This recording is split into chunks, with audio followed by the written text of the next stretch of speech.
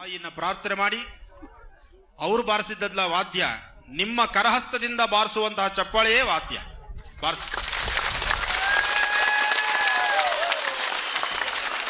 ಓಂ ಕಾತ್ಯಾಯನಾಯ ವಿದ್ಮಹೇ ಕನ್ಯಾಕುಮಾರಿ ಧೀಮಹೆ. ತನ್ನೋ ದುರ್ಗೆ ಪ್ರಚೋದಯ. ತಾಯಿ ಮಹಾಲಕ್ಷ್ಮಿಯ ಸಂಪೂರ್ಣ ಕೃಪಾಶೀರ್ವಾದ ನಿಮಗಿರಲಿ. ಹಾಗೆ ಆನಂದ್ ಗುರುಜಿಯವರು ಬಂದರು, ಹಿಂಗೆ ಹೊರಟರು ಅನ್ನೋದಕ್ಕಿಂತ ಕನಿಷ್ಠ ಪಕ್ಷ ಒಂದು ಐದು ಪ್ರಶ್ನೆಗಳಿಗೆ ಉತ್ತರ ನಾನು ಕೊಡೋದಕ್ಕೆ ಸಿದ್ಧತೆ ಆಗಿದ್ದೇನೆ. ಆ ಐದು ಪ್ರಶ್ನೆ ತೂಕವಾಗಿರಬೇಕು. ಎಲ್ಲರಿಗೂ ಅನ್ವಯಿಸುವಂತಹ ಪ್ರಶ್ನೆ ಆಗಿರಬೇಕು ಅಂತ ಪ್ರತಿ ಬಾರಿ ವೇದಿಕೆಯಲ್ಲಿ ಹೇಳ್ತಾ ಇದ್ದೇನೆ. ಹಾಗೆ ಏನೋ ಚೆನ್ನಾಗಿರೋದೊಂದು ಮೈಕ್ ಇಟ್ಟಿದ್ದಾರೆ. ಆ ಮೈಕನ್ನು ಪೀಸ್ ಪೀಸ್ ಮಾಡ್ದಿರಾ? ಕರೆಕ್ಟಾಗಿ ತಗೊಂಡು ತೂಕವಾಗಿ ಎಲ್ಲನ ಒಂದು ಸ್ಥಳದಲ್ಲಿ ನಿಂತು ನಿಮ್ಮ ಪ್ರಶ್ನೆ ನನ್ನನ್ನು ಕೇಳಿ. ಆ ಪ್ರಶ್ನೆಗೆ ಇಷ್ಟು ಉತ್ತರ ಕೊಡೋಣ. ಗುರುಜಿ ಹೇಳಪ್ಪ. ಮಕ್ಕಳಿಗೆ ಅಂತ ಬಂದಾಗ ಹದಿನೆಂಟು ವರ್ಷ ಆಗುತ್ತೆ ಹೋಗೋದಕ್ಕೆ ಹದಿನೆಂಟು ವರ್ಷ ಆಗುತ್ತೆ ಅಂತಾರೆ. ಆ ಟೈಮಲ್ಲಿ ಮಕ್ಕಳು ಓದಲ್ಲ ವಿದ್ಯಾಭ್ಯಾಸಕ್ಕೆ ಏನು ವಿದ್ಯಾಭ್ಯಾಸ ಸರಿಯಾಗಿ ಮಾಡಲ್ಲ. ಆಮೇಲೆ ಕೆಟ್ಟದಾರಿ ಹಿಡಿತ ಕೆಟ್ಟದಾರಿ ಹಿಡಿತಾರೆ ಅಂತ ಹೇಳ್ತಾರೆ. ಅದಕ್ಕೆ ಇಲ್ಲ ಒಂದು ನಿಮಿಷ. ಹದಿನೆಂಟು ವರ್ಷಗಳ ಕಾಲ ಮಕ್ಕಳ ವಿದ್ಯಾಭ್ಯಾಸ ಸರಿ ಹೋಗ್ತಿಲ್ಲ. ಆದ್ರೆ ಇದಕ್ಕೆ ಕಾರಣ ಕುಜದೋಷ ಅಂತ ಹೇಳ್ತಾರೆ ಅಂತ ಹೇಳ್ತಾ ಕುಜಾದಶೆ ಇದೆಯಾ ಕುಜಾದಶೆ ಇದೆ ನಡಿ ಕುಜಾದಶ ನಡೀತಾ ಇದೆ. ಹಾ. ಮಕ್ಕಳು ಓದಲ್ಲ ಅವ್ರು ಕೆಟ್ಟದಾರಿ ಹಿಡಿತಾರೆ ಅಂತ ಹೇಳ್ತಾರೆ ತೋರಿಸ್ದಾಗ. ಯಾರು ಹೇಳಿದ್ರಪ್ಪ? ಆ, ಪ್ರಶ್ನೆ ಕೇಳಿದಾಗ ಜಾತಕ ತೋರಿಸುವಾಗ ಜಾತಕ ತೋರಿಸ್ದಾಗ ಹಂಗೆ ಹೇಳ್ತಾರೆ ಸ್ವಾಮಿ.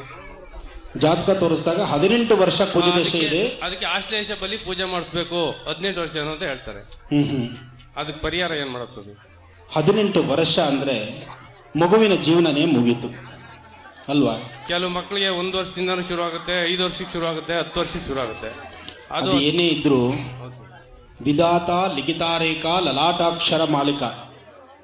ಸೃಷ್ಟಿಕರ್ತ ಬ್ರಹ್ಮ ಒಂದು ಮಗುವಿನ ಜೀವನದಲ್ಲಿ ಆ ಮಗುವಿನ ಮುಂದಿನ ಬದುಕಿಗಾಗಿ ಯಾವತ್ತೂ ಮಗುಗೆ ಜನ್ಮ ಕೊಟ್ಟಂತ ತಂದೆ ತಾಯಿ ಜೀವನ ಪೂರ್ತಿ ಅವನ ಜೊತೆಯಲ್ಲಿ ಇರ್ಲಿಕ್ಕಾಗಲ್ಲ.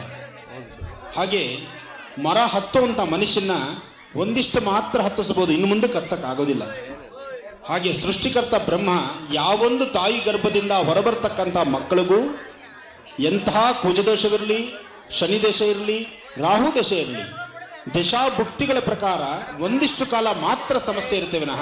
ಹದಿನೆಂಟು ವರ್ಷ, ಹತ್ತೊಂಬತ್ತು ವರ್ಷ, ಒಂಬತ್ತು ವರ್ಷ, ಏಳು ವರ್ಷ ಖಂಡಿತ ಇದಿರೋದಿಲ್ಲ. ಇದ್ರ ಬಗ್ಗೆ ತಪ್ಪು ಕಲ್ಪನೆ ತಂದುಕೊಂಡಿದ್ದೀರಿ. ಯಾರೋ ತಪ್ಪು ಮಾಹಿತಿ ಕೊಟ್ಟಿದ್ದಾರೆ. ಆದರೆ ಒಂದು ಏನೇ ದಶಾಭುಕ್ತಿಗಳಿದ್ರು ಮಕ್ಕಳು ಓದು, ಮಕ್ಕಳ ವಿದ್ಯಾಭ್ಯಾಸ ಅದಕ್ಕೆ ಚಕ್ಕನಾದಂತಹ ಬೆಳಕಿನಲ್ಲಿ ಆಯಾ ಕಾಲಕ್ಕೆ ಸಿಕ್ಕೇ ಸಿಗುತ್ತೆ.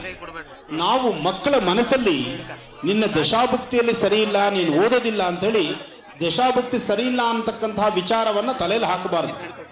ಏನೇ ರಹಸ್ಯಗಳಿದ್ರೂ ಅದನ್ನ ಗೋಪ್ಯತೆ ಕಾಪಾಡಬೇಕು.